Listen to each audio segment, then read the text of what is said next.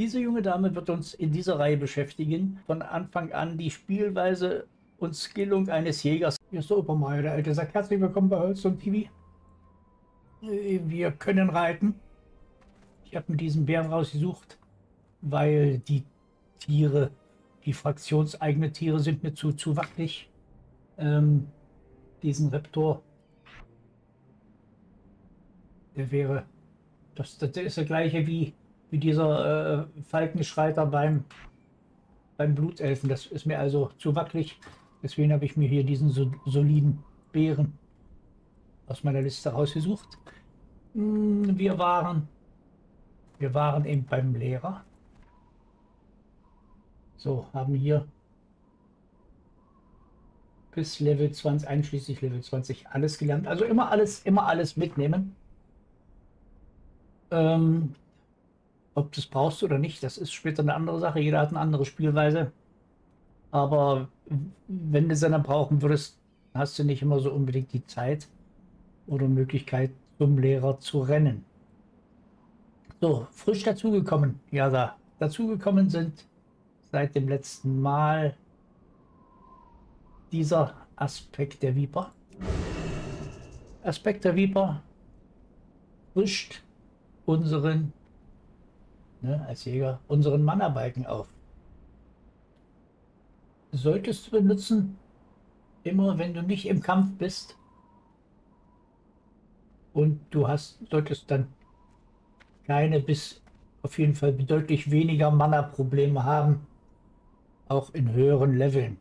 Im Kampf natürlich immer wieder, nicht vergessen, dann umschalten auf den Aspekt des Falken. Beim Aspekt, Aspekt des Falken haben wir die Stufe Level Stufe 2 gelernt. Der macht uns jetzt 15 mehr Angriffskraft gegenüber der Stufe 1, die wir vorher hatten. Wir haben, haben wir noch gelernt? Wir haben die Eiskältefalle haben gelernt. Das ist also auch eine örtliche Falle.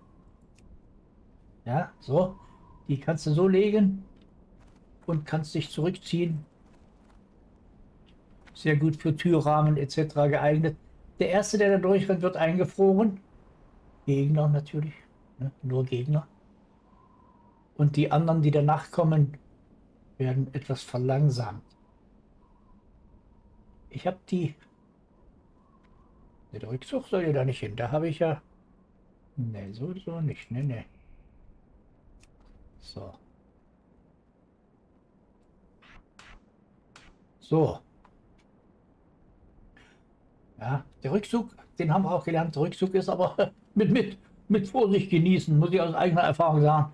Weil ich bin schon früher, ne, früher, ne, als man noch unwissend war, öfter mal durch diesen Rückzug gestorben. Man soll nicht vergessen und nicht benutzen, wenn man mit dem Rücken zu einem Abgrund steht. Das endet dann doch tödlich. Was man ja eigentlich mit, mit, diesem, mit dieser Aktion verhindern möchte.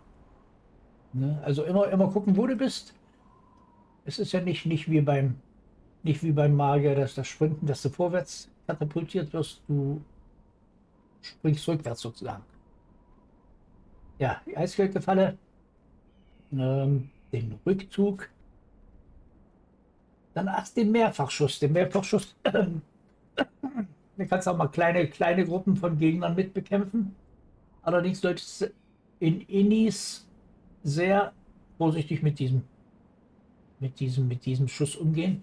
Sonst kriegst du Besuch von Leuten, die du gar nicht kennen wolltest. Und, und Ärger mit, mit deiner Gruppe. Wenn da zu viel Besuch kommt. Ungewollter. Ja.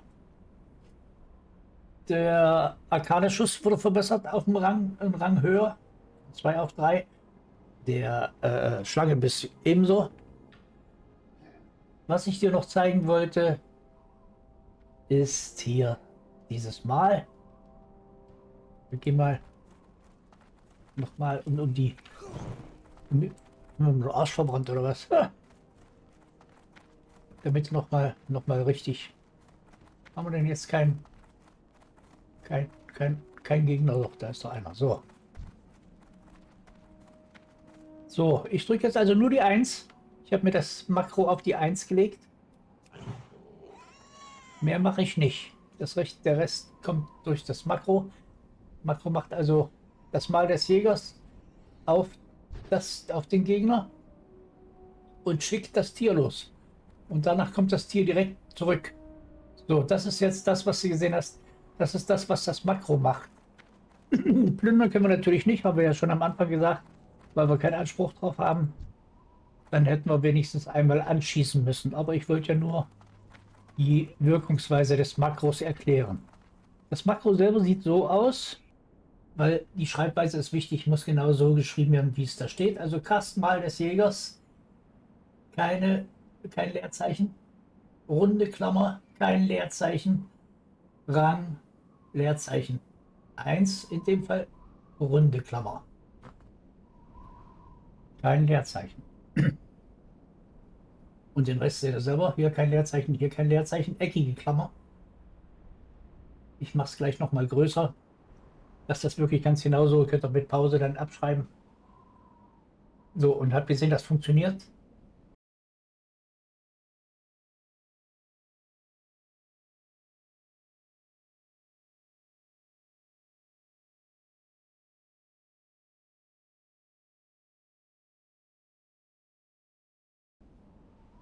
Ich habe das Mal des Jägers natürlich auch für Innis dann nochmal separat nutzbar hier.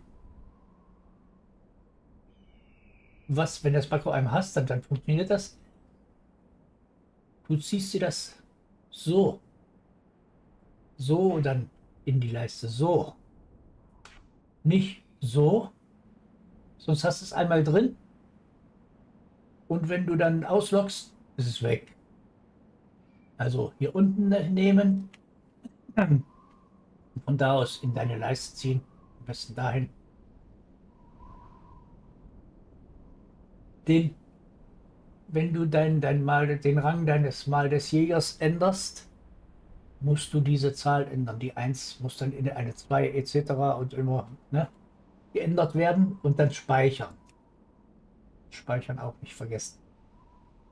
Sonst würde der ja immer nur den Rang 1 auf den Rang 1 des Mal des Jägers zugreifen. Und dann machst du ja weniger Schaden, als du denkst. Das ist ein schönes Makro. Es funktioniert, aber es macht dir sonst keinen Schaden. Also das nicht vergessen, mit erhöhen. In dem Moment, wo du das Mal des Jägers erhöhst, musst du auch hier am Makro, im, im Makro, Makro höher machen. So, hier, so kommst du zum Makro. Spielmenü, Makros. Ich habe es jetzt hier gespeichert. Ja. Kannst du dir natürlich bei dir kannst auch so machen. Machst es so. Neu. Neu. Dann so. Ja, hier gibst du den Namen von deinem Makro ein. Dann kommt hier unten, kannst du OK drücken und dann kannst du hier, hier den Text eingeben. Die Punkte. Die Punkte, die wir vergeben haben. Jetzt ist erstmal wichtig, mit Level 20 zwei hier, wegen der, der höheren Gesundheit. Bei den tödlichen Schüssen 5. Hier erstmal 2. Bei den todbringenden Schüssen beim Mal des verbesserten Mal des Jägers auch 2. Bei Überleben haben wir nichts drin. Da kommt später hier noch was rein um die Reich, unsere Reichweite unserer Schüsse zu erhöhen. Denn habt ihr am Anfang habe ich schon versucht zu verdeutlichen, je mehr Abstand zum Gegner hast, umso eher kann er außer Gefecht gesetzt werden. Das war's dann schon wieder. Ich melde mich mit Level 30 wieder. Dankeschön fürs Zuschauen. Bleibt gesund, habt viel Spaß und ich hoffe, ich konnte der JASA und vielleicht auch einigen anderen helfen. Macht mir auf jeden Fall sehr viel Spaß. Das ist eine ganz neue Herausforderung. So, ciao erstmal. Tschüss.